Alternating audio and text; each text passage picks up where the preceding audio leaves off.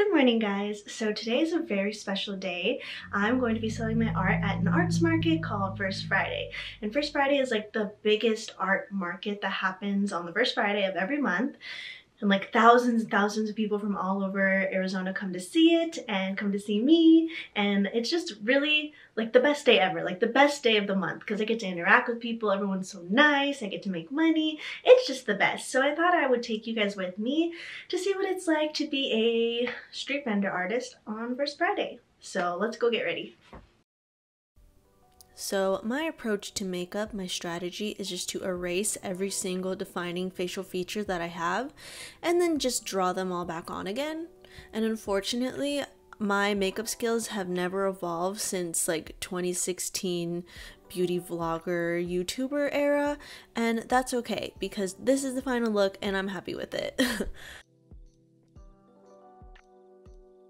Okay, well, horrible news is it's windy and I'm pretty sure it's going to rain. And the event is outdoors. So, worst case scenario. ah, I'm so nervous.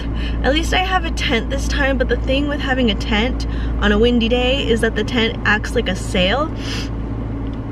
And it could just fly up in the air and just never come back. There needs to be more indoor events because I'm tired of fighting with the weather. This is not fun.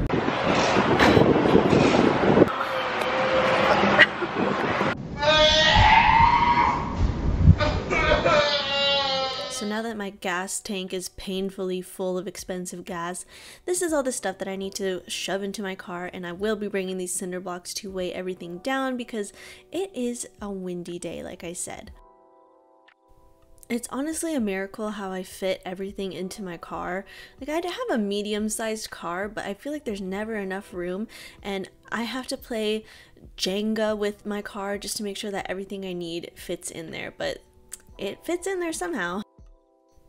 So we are now at the event site and I had to do a little bit of a time skip because the process of getting to the event is so unbelievably stressful because imagine driving down the freeway it's friday 3 p.m peak rush hour time in a car that is just absolutely filled to the brim with all of my crap. And it's like you know kind of like jostling around every time you uh, turn a little bit every time you merge lanes. Uh, it's a little bit stressful a little bit dangerous. So i did not want to film it because i didn't want to add to more stress to the situation so now all I'm doing is putting up all of my merchandise and making sure everything looks organized and aesthetic and appealing to people who are coming by.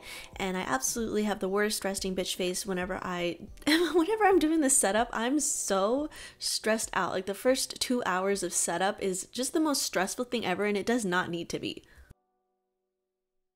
Okay, there's a there's a band playing, so I don't know if you can hear me. But I'm all set up. So this is what the street that I'm on looks like before any of the people come.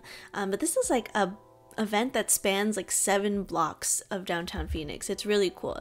But this is what my booth looks like. It is very pink and pretty, and I'm honestly really proud of all the products that I have and the setup that I've created over the past couple of years. It's so cute.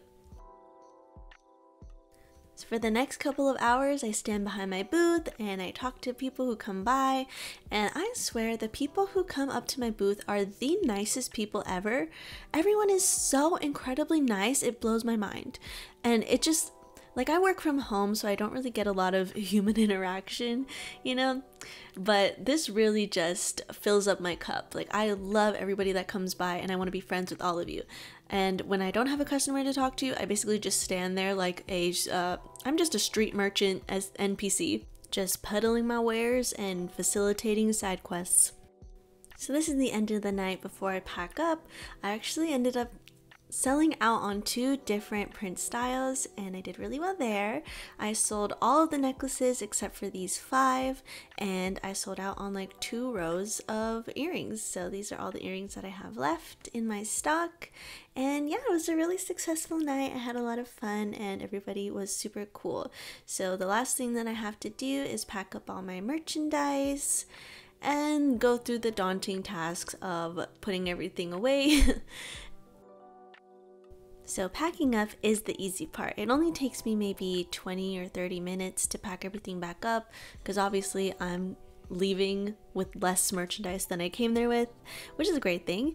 Uh, but then I just have to make sure everything is packed in safely. Then I have to fold up all my tables and put them on my displays, and then take down my tent, which I never do by myself because there is something humiliating to me about having to fold up this tent by myself. So I always wait for my boyfriend to come and help me. So this is the space that I was at all clean and packed up, and here he is with the car.